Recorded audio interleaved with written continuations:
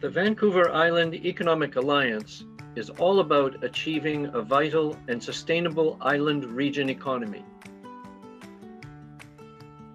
We collaborate with stakeholders to solve problems and promote opportunities.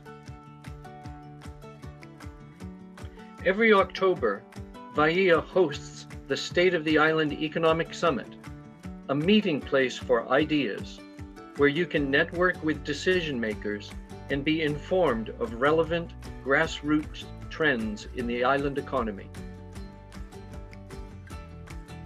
VIEA's annual economic report is the only publication of its kind in Canada. It is user friendly and puts important, timely data at your fingertips. Foreign Trade Zone Vancouver Island provides ready access to Canada's duty and tax deferral opportunities and attracts foreign direct investment to the island region.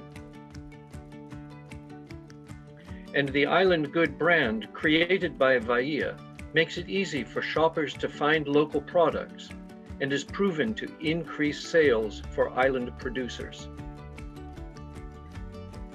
If it's island good, whether it's potatoes or gin or mattresses, it's good for our economy, good for sustainability, and good for us all.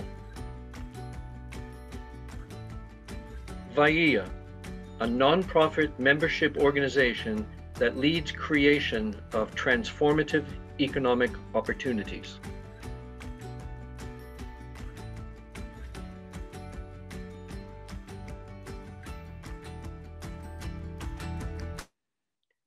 Hello and good afternoon, everyone. Thank you for joining us for our second presentation in the Industry Speaker Series, part of the Seven Days of Seaweed Festival. On behalf of our planning team, I'd like to thank you for taking time out of your busy schedules to join us this afternoon.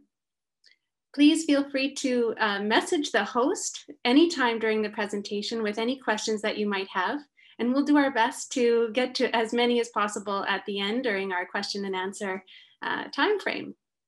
Now, the purpose of Seaweed Days is to create more seaweed enthusiasts around the world. And here to help us with that is Dr. Carlos Drews, Drews excuse me. Dr. Carlos Drews is the Executive Vice President for Conservation at Oceanwise in Vancouver. Before that, he served as the Executive Director of the Jane Goodall Institute in the US.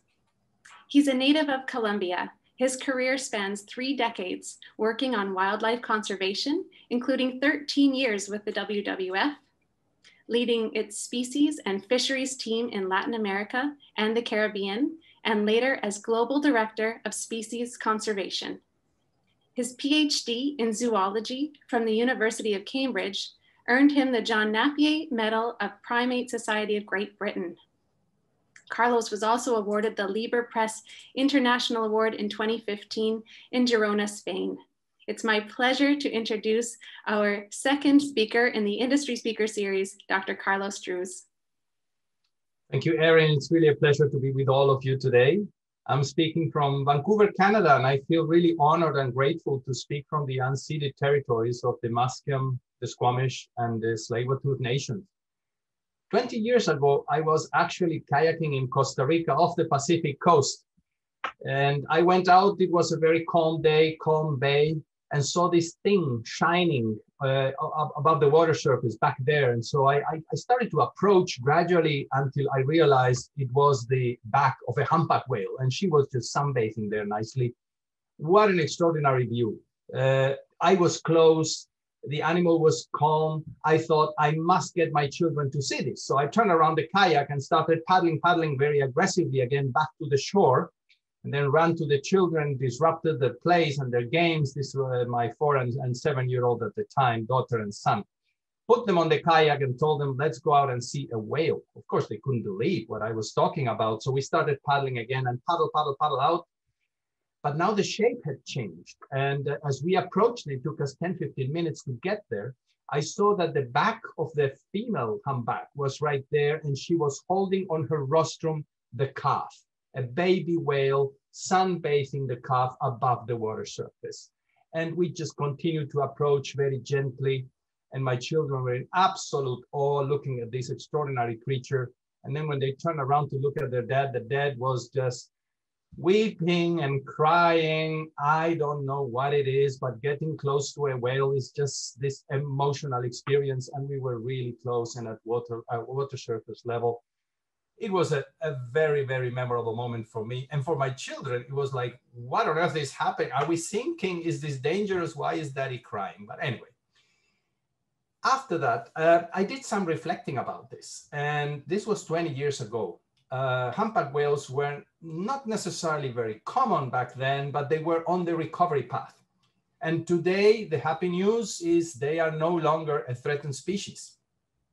How did that happen? There was an international moratorium on whaling that started in the 80s after about 20 years of uh, hard work by conservationists and some governments who wanted to see whaling stop. And then it actually happened. And then whales, the majority, but not all of them, really started recovering. And humpback whales are one of these incredible success stories that tells us that if we leave the ocean alone, if we drop our pressure from the ocean, marine life will actually come back. It will come back in extraordinary ways. I will now uh, share my screen with you to walk you through what I consider is ocean positive seaforestation.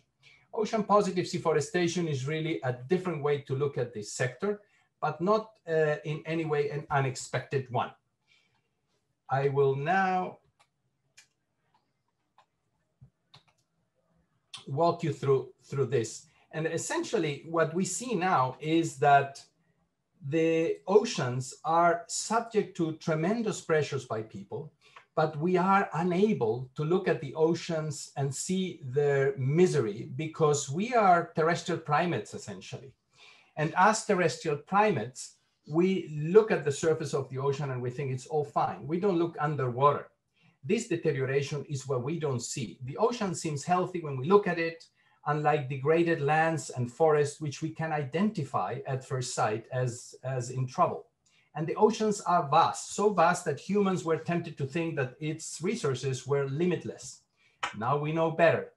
But connecting to the plight of the oceans is still a challenge for many people. Let me walk you here through a very complicated graph, but definitely one that deserves your attention. This is from uh, Carlos Duarte's paper with many collaborators, came in Nature uh, last year in April, called Rebuilding Marine Life. And here they present this historical view of pressures on the ocean. As you can see, this graph here that at the top is hunting pressure. Hunting pressure refers a lot to marine mammals uh, and, and other, uh, other large, uh, large animals.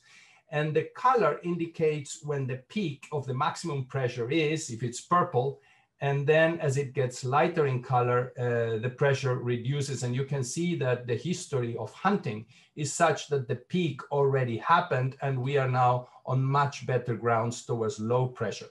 If we look at fishing, the picture is interesting too, because many of you uh, may think, as I did too, that uh, we are at the peak of uh, uh, global pressure on our fishing uh, resources. But we seem to be past that peak uh, in the 90s and the 2000s. And now the pressure continues to be high, but doesn't seem to be anymore at its maximum. And we are seeing several uh, fish stocks uh, in several ocean bases already showing signs of recovery. I don't want to sugarcoat uh, the picture here. We know that many fisheries are in dire straits, uh, but this is the global trend, and I think we should be aware of that. Deforestation really talks to mangroves primarily, uh, and uh, the peak is past already. We are still at high to medium pressure on, on that. Uh, but again, good news, thanks to the great efforts of the conservation organizations, civil society groups, indigenous groups, and governments. And then on habitat loss, well, this speaks among other things uh, to seagrasses, to coral reefs, and all these other habitats. Again, we seem to be past the peak of uh, the highest pressure and uh, slowly, slowly moving towards low pressures here. With fertilizers and with climate change, however, the news are not good. We are really at the maximum pressure on the ocean resources. But the fundamental message of this paper is that rebuilding marine life can be done. The good news is within the next 30 years, There is a roadmap in this paper that tells us what to do, and then it can actually be done. We can restore these ecosystem services on which humankind uh, so much depends. If we look at restoration projects worldwide, there has been a gradual increment in these kinds of projects. And if you see the, the chart in front of you and you look at the color gray, those are kelp restoration projects. Uh, with green, you see mangroves. Uh, in pink, you see salt marshes, coral reefs in lilac. And just look over time, we are now uh, starting the 90s here, uh, how all these restoration projects continue to mushroom around the world, a great indication of a collective momentum that is building up uh, with seaweed restoration projects lingering behind all the others, but several good examples in the North America coast, around here uh, in particular, and then in Europe, in Chile, and also uh, down south in uh, Australia, Tasmania, but also in Japan. This is the uh, global trend of uh, restoration projects. And here on this graph, what you can see is that kelp, the gray here at the bottom, is really lingering way behind restoration efforts worldwide. But it can be done. And in Duarte's paper, we see a few examples of that, uh, like this uh, kelp bed of Saccharina japonica in Japan, uh, before and after. And also this one here in uh, Chile, which uh, again shows how impoverished uh, the habitat can be, but how well it can actually return to its close to original state if, we, if we do the right thing the kelp forests of the world are under danger and uh, they are in serious jeopardy, particularly because of climate change. And you know that kelp is very sensitive to warm uh, water events, uh, which are becoming more intense and more frequent with climate change. But then there are other pressures as well. And you know that the demise of sea otters uh, causes sea urchin populations to explode. And then these are grazers and they can do considerable harm to kelp beds as well. Uh, and there are other threats. Bottom line is kelp forests need our help, absolutely need our help. And uh, the first time that actually kelp got my attention was, uh, was last year, being around here in Vancouver uh, and uh, in British Columbia, where kelp are an essential part of the marine ecosystems. And I started the conversations with uh, seaweed farmers and, uh, and other people interested in kelp. I had just so much to learn. The first bit was this notion of kelp can actually sequester CO2. Uh, the IPCC, the International Intergovernmental Panel on Climate Change, has incorporated significant carbon removal from the atmosphere as a part of the key actions that humankind must take to mitigate climate change and hopefully be able to stay under 1.5 or 2 degrees of warming by the end of the century. Now I know about the many more positive aspects of seaweed conservation and management. And you too.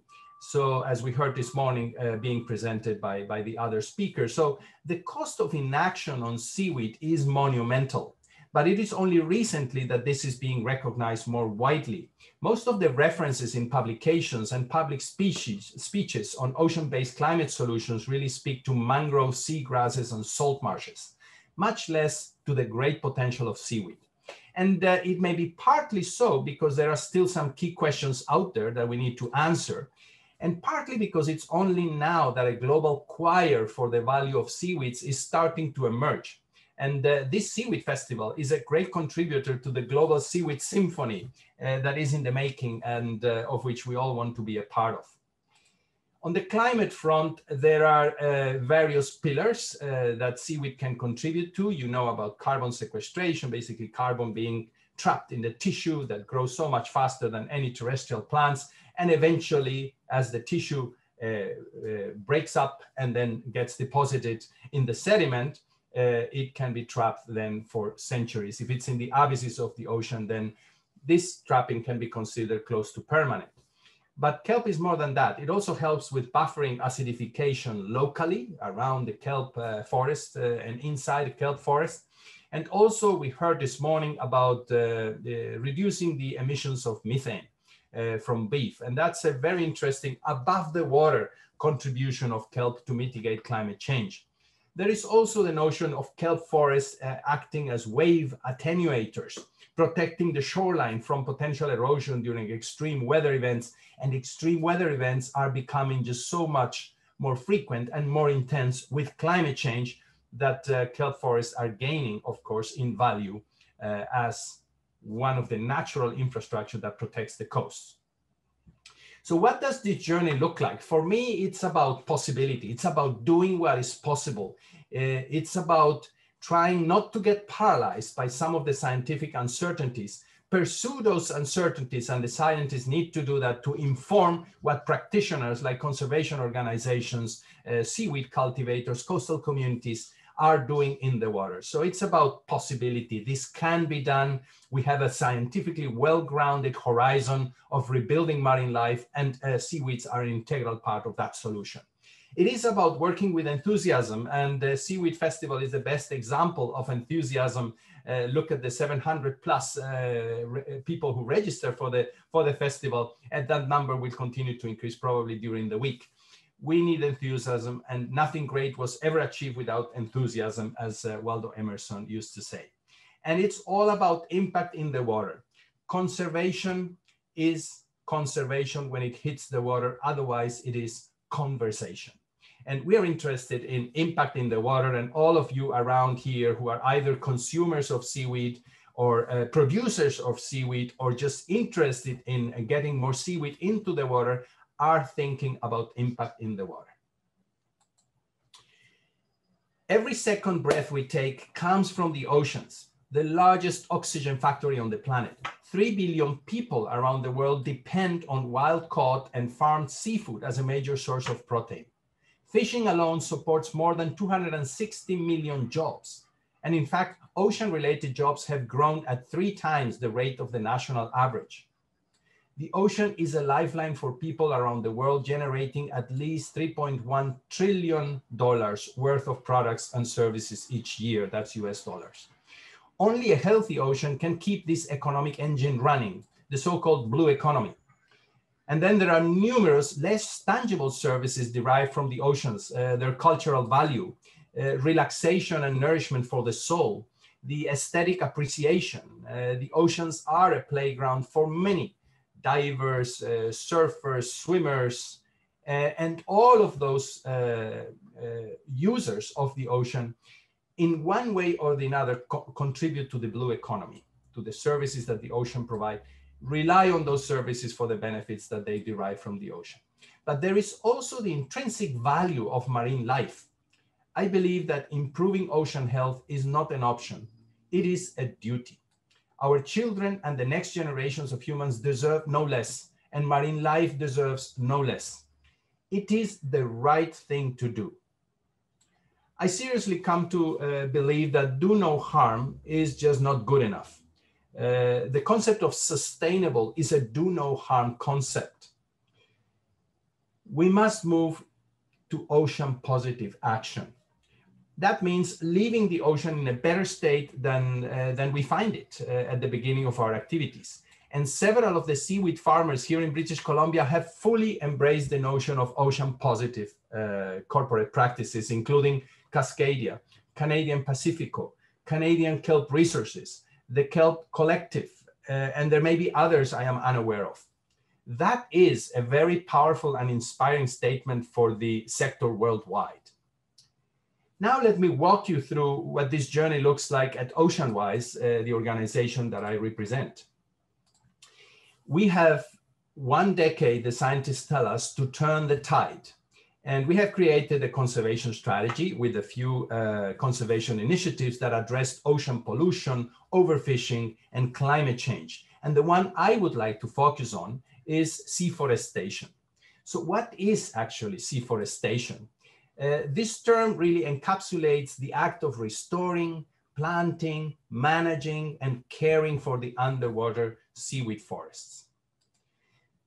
Our seaforestation initiative can be summarized, and if I may read this to you, as the responsible expansion of seaweed such that environmental returns are maximized and equitable sharing of benefits with coastal communities is assured the seaweed movement is one of great momentum and great excitement because seaweeds are becoming this kind of epicenter of environmental solutions. There are numerous benefits of seaweed products, like for food security, nutrition, cosmetics, pharmaceuticals, and so forth. We've heard about them this morning. But here on this slide is a sample of how seaforestation generates environmental returns. Look, for example, at biofuels uh, to help the decarbonization of uh, shipping, uh, which is a key issue in the Arctic. Or kelp forest as salmon habitat, and salmon being again the prey of killer whales. And if we are concerned about whale conservation, then this behooves us to protect all of the habitats of their prey. Kelp is also a fascinating underwater buffer for, uh, for the noise generated by shipping, for example, which is disruptive of the communication of cetaceans underwater. And this is something that hasn't been really as yet quantified and really uh, properly studied, but it's a definite avenue as well. Uh, uh one more benefit to marine life that kelp forests may provide, particularly in areas around uh, Vancouver, where you see these lanes of traffic from Asia and from down south in, in America coming our way and becoming really lanes of underwater noise. Then there is kelp as a source of biopolymers, for example, and plastic uh, plastic alternatives is a fascinating one. During COVID, we've seen, of course, uh, an extraordinary uh, growth of uh, single-use plastic use, uh, particularly for home deliveries. We can do much better than that, and seaweed is there to help us. And then there is seaweed as fiber for textiles potentially, and I will show you something about that in a moment. And then of course, all of the climate benefits that I already mentioned. This list of environmental returns, I'm sure is wrong. That means it is incomplete. There is just so much out there already and so much still out there to be discovered about the benefits of seaweed that this slide will continue to evolve in the time to come. So the potential of seaweed in products and environmental solutions grows and grows and grows. I undertook uh, a little exercise before this presentation of starting to Google things. If you Google seaweed car, what will you find? Well, this is what you find, that uh, we, there is already a car that covered 50 miles with seaweed biofuel, and that was in December 2019. Uh, this is the biofuel kind of venture uh, of, of seaweed. If you Google seaweed and seaweed dress, what do you find? I found many things, but one that caught my attention was a fashion designed by Jasmine Linington. Uh, and based out of uh, Scottish seaweeds, uh, she's producing extraordinary ornaments, but also moving into the fiber production that includes uh, seaweed. And that's a fascinating field. And then I did my final one just because I was, I was really curious. What happens if you Google seaweed shoe? Oh, there is a shoe made out of sargassum uh, in Mexico. It includes recycled plastic bottles, a little bit of seaweed, and there you have your seaweed shoe. So environmental returns are vast. I see the environmental, social, and economic returns as inextricably linked. And Ocean OceanWise's sphere of influence is really anchored in the environmental field. We see OceanWise's role as the orchestrator of an amazing coalition of the willing to advance our seaforestation vision. Some seaweed farmers and other, uh, other um, uh, players have requested that OceanWise become the clearinghouse for seaforestation projects that provide answers to the many questions associated with the responsible expansion uh, of restoration and uh, seaweed cultivation. We are committed to help advance an ocean positive seaforestation agenda with several of you here on this call today. And we can grow into becoming the verifier of the environmental impacts of seaforestation operations based on our track record of sustainability assessments in the seafood sector that some of you are familiar with. In the next decade, this is what OceanWise uh, is committing to do. We will work on restoration of kelp habitats in British Columbia and exporting those lessons to other places around the world we want to create this pre-competitive alliance with the seaweed industry where academia, coastal communities, indigenous knowledge comes together to inform with the best knowledge site selection, how to maximize environmental returns, how to minimize climate risk, uh, and other questions like that. And we want to share uh, restoration processes with some citizen action teams so that we can include people, include the everyday person around the excitement that there is about seaweed and for them to have an avenue uh, to compensate for their carbon footprint potentially. We want to create a vehicle for kelp permaculture, kelp cultivation that really is based on ecosystem health and giving back to the ecosystem. And one that maximizes environmental returns at scale. And last but not least, we want to partner with coastal communities and with First Nations as the right holders of kelp habitats and custodians of the relevant and traditional ecological knowledge that will allow this expansion of seaweed to be res responsible.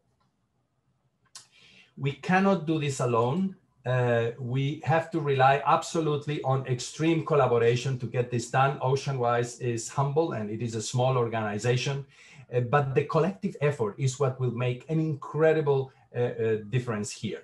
We have joined the Safe Seaweed Coalition that you heard about this morning by Vincent, uh, and we have several partners that have signed on to the shared vision of ocean positive expansion of seaweed. I want to leave you with that and with an invitation to continue to hold hands. This is a very exciting time uh, for seaweed expansion. I know that you can all be a part of it, either as producers at the producing end, as scientists that contribute to answer all these incredible questions, as the rightful custodians of kelp habitat uh, in coastal communities, but also as consumers of seaweed products, engineers that may want to contribute their high tech and, uh, and extraordinary ways to monitor uh, the impacts of kelp. You're all most welcome. These are very exciting times. Thank you very much. Wow, Carlos, I found myself nodding throughout your presentation in agreement uh, and excitement. Um, you identified that time is not on our side, but uh, you also provided me with hope that there's a solution that we can um, uh, solve the climate crisis by growing more seaweed uh, around the world and using seaweed in our lives. And I wanted to thank you for that touching story you shared at the beginning of your presentation about um, the whale and, and your children. That was a beautiful way to start the presentation. Thank you. Uh, we do have some questions uh, rolling in. Um, the first one, I'm going to just uh, check the cat, chat here, is from Kaylee. Are there any books that you would recommend to learn more about kelp? Indeed, and uh, I was not prepared for the question, but uh, I keep this copy of, uh, wait a minute, of Louis Druehl's uh, Bible, Pacific Seaweeds. And I do encourage you to go and, uh, and secure yourself a copy. It's an extraordinary piece. Lots of uh, beautiful ways to learn about kelp, identify the most common species here in this North American waters of the Pacific and also including some recipes, but also uh, topics like management and so forth. This has to be a, a must have for everybody interested in seaweeds. Yeah, that's a great one. It's uh, we've got multiple copies in the office here at Cascadia. Uh, I'd also like to recommend a book called Slime by Ruth Kassinger. It's extremely entertaining, um, a, an easy read, but you learn about the history of algae and how important it is to um, uh, to oxygen and to our our livelihood, actually. So that's a good one. Oh, and Louis Druehl is our keynote speaker at the professional development workshop on, on Wednesday morning. So if you're uh, registered for that, you'll actually get to hear from uh, the godfather of seaweed himself. Okay, we have lots of questions coming in. Uh, Ashley asks, what does pre-competitive mean in your goal to create a pre-competitive alliance with the seaweed industry, academia, and the community? Beautiful, beautiful question. And uh, I'm a biologist. Uh, I'm not in business or anything. I'm learning my lingo as well. But look how interesting. In the business sector, uh, these different companies that are striving to uh, sell the products and similar products to the same people are basically competitors.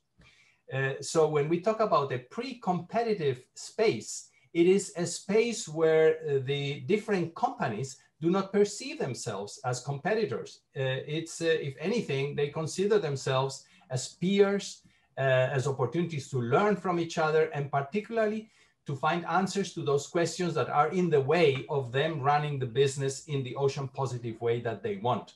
So a pre-competitive space is a, a, very friendly space. It's a, it's a space of curiosity, of holding hands, of collaboration. And that's what we are uh, looking forward to facilitate. And uh, we have several uh, partners of the, of the seaweed uh, cultivation uh, sector already on board in a very pre-competitive spirit, which is really one of sharing what you've learned, sharing your concerns, sharing your resources, your sources of knowledge as well. You know, we have felt uh, from Cascadia's perspective, we have felt the industry to be truly collaborative. We've had conversations with, uh, with folks in Australia, the South Australian government, actually they're presenting this afternoon, um, with folks in the UK, Arctic Seaweed, for example, uh, um, all uh, your yourself and, and folks at Ocean Wise, it really feels like a collaborative sector. And uh, on Thursday afternoon, when we launch our, our brands, our products, and we enter that, uh, that space of competition for goods, um, we hope to be uh, uh encouraging people to do better, to make good choices and and that it's okay to try all sorts of these wonderful products that are all making a positive impact on the climate. That's wonderful. Uh, okay who we we have? Lorna. What is the what are the main barriers that the kelp industry is facing at the moment? What needs to be addressed before the industry can really scale up? Lorena, thank you very much for an absolute key question here. And it differs, depends on where you are on the planet. Uh, sometimes the regulatory frameworks are such that it is easier to get an oil concession in the ocean than to get a seaweed uh, permit to operate. So a lot to do there. Uh, we heard Minister Jordan this morning from uh, the Department of Fisheries and Oceans speak about her own enthusiasm about seaweed and the expansion of seaweed as, a, as an extraordinary, uh, what I consider ocean positive uh, sector of the industry. So we will hope uh, that hopefully the regulatory framework will also be adjusted so that it facilitates the responsible expansion of seaweed. And I think underlying responsible. No one wants to go uh, absolute rogue with, uh, with the oceans, mess with them and potentially end up uh, causing more harm than good. But with seaweed, we seem to believe that uh, uh, we can start making steps that are no regrets in our path to learn where actually the boundaries, the environmental boundaries, uh, where there may be operational safety boundaries. And we heard Vincent speak about the importance of, of safety it's environmental safety, it's operational safety, and food safety as well. Uh, so there are there are obstacles there. Other obstacle that I identify is just the lack of awareness and the lack of knowledge about the incredible potential that there is for seaweed. Uh, so some of the great minds around the seaweed expansion are, are clamoring uh, for the support of uh, investors. And the investors are still a little bit on the hesitant side, if I may generalize, and any generalization is bound to be wrong but they are waiting to see. Uh, for example, can we actually deliver on the promise of uh, seaweed being this extraordinary carbon drawdown mechanism? Uh, calculations are happening. Professor Carlos Duarte has a, a, team of people working precisely on this question, and some of the seaweed farmers in BC have contributed to a particular study that is geared toward understanding carbon sequestration potential in seaweed farms specifically. Uh, there is also the deep water dreamers, uh, dreamers and doers, I have to say. Uh, and that's a fascinating avenue because uh, on top of the abysses of the ocean, uh, you can almost guarantee that that seaweed will actually get deposited and trapped 3,000 meters below, where water temperatures are four degrees, where there's very little decomposition, eventually carbon sequestration at its best. So can we maximize carbon sequestration? And I dare to say that if you have a seaweed operation on the coast and you declare that 10% of your production will be uh, returned to the ocean, and then you actually find a carbon low, a low carbon footprint way of transporting that seaweed, that 10%, and dropping it over the abysses of the ocean, that will maximize the carbon sequestration contribution of your operation. So I would say that it's about really bringing this knowledge, this awareness uh, about the potential, but also the good science that needs to come into it and great practice so that investors are convinced. Uh, those, I believe, are some of the key obstacles here. Uh, you would also need to think about the practicalities of doing this at scale because I'm talking here thousands and thousands of hectares if we want to make a difference of planetary uh, significance. And you don't have to immediately visualize a drone image of, uh, of thousands and thousands of hectares taking over a particular spot of the ocean. Can also be a mosaic of small coastal seaweed operations scattered all along the fjords and beautiful um, uh, waters here of uh, British Columbia, of Alaska, down to California, then hop over the tropics and you find yourself in Chile and down south in the Magallanes province, there is a great project taking, taking, taking off uh, with an indigenous community there uh, for seaweed cultivation as well. You add all of that up, including what is happening in Europe, uh, in Tasmania, uh, what will happen, which is a huge project off the coast of, Na of Namibia. And then you look at South Korea, Japan, China, uh, maybe Indonesia potentially as well with tropical seaweeds. And it does add up. And it's this collective area and the collective drawdown that you can get from the responsible expansion of seaweed, what will make a difference uh, for uh, climate change. Beautiful. Uh, Brian had a question about the negatives, but I think you've done a good job at addressing uh, addressing that and um, and flipping that upside down. That there's no choice. We need to scale up the production of seaweed around the world. George has a question.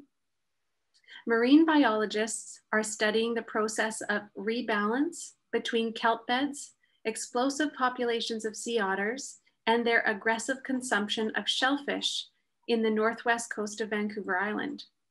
This is possible where there is not much commercial shellfishing.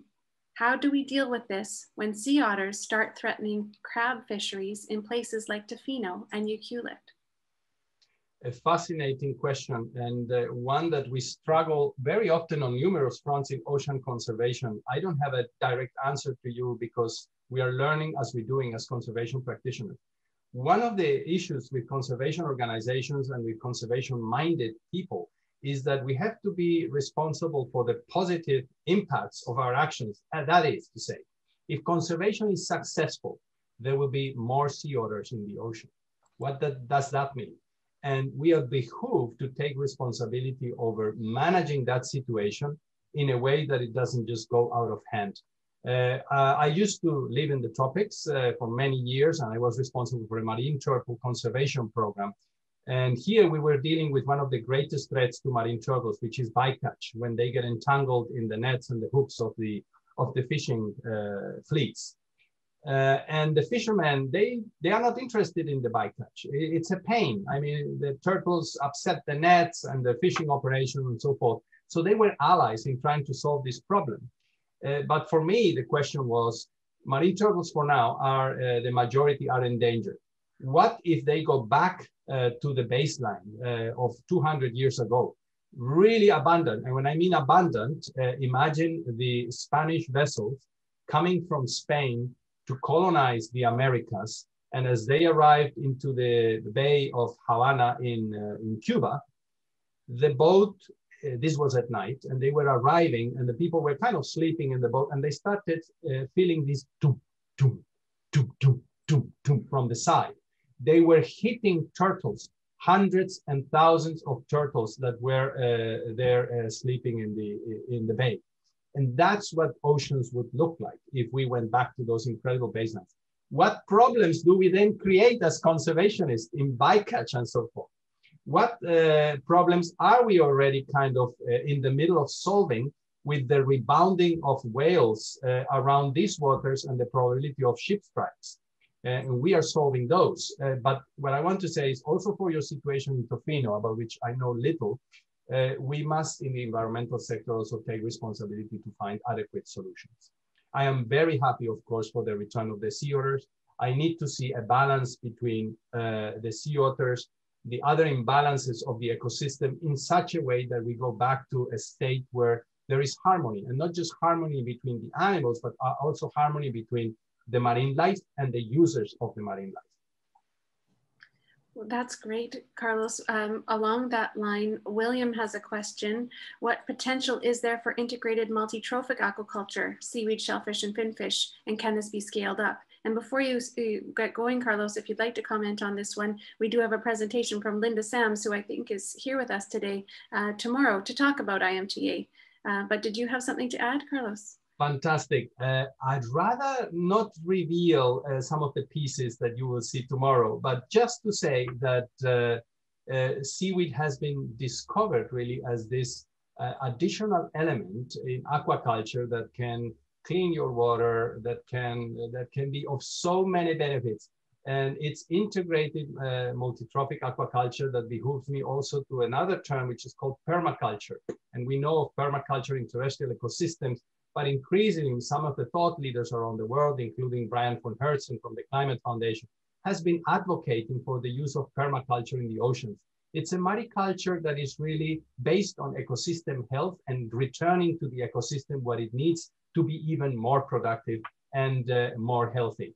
So the potential of this kind of approach and integrated multitrophic aquaculture is really another way to look at permaculture uh, is, is vast because it's the ocean positive way of doing business. And the more consumers start demanding that as a principle in the products that they choose, uh, the more pressure there will be for, uh, for some of the laggards in the industry uh, to actually come on board and start approaching the industry in that way, in a way that looks at ecosystem health, maximizing productivity without, uh, without harming the ocean and leaving the ocean in a better state than we found.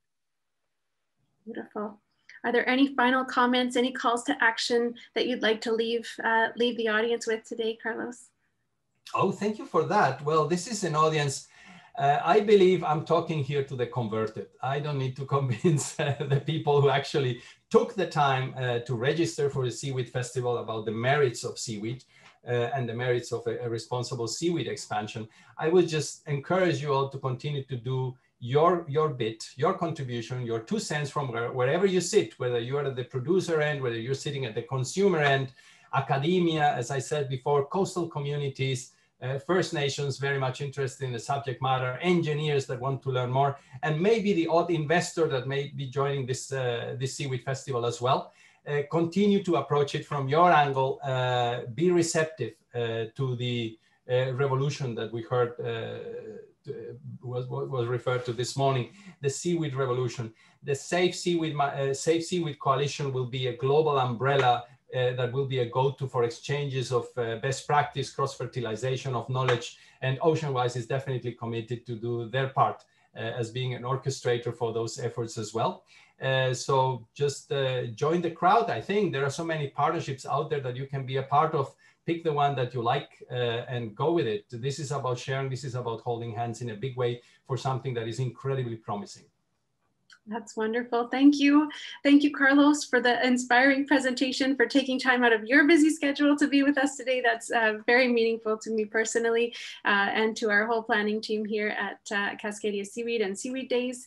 Um, to the audience, thank you for your time uh, for joining us today. If we haven't got to your question, um, I hope to, uh, to go through them at the end. And, and if there's any big ones, I'll write to Carlos and we'll get those answered and, and posted um, posted up for you. And I'd also like to thank VIEA, the Vancouver Island Economic Alliance, for uh, being with us today, providing support and delivering the industry speaker series during, during Seaweed Days.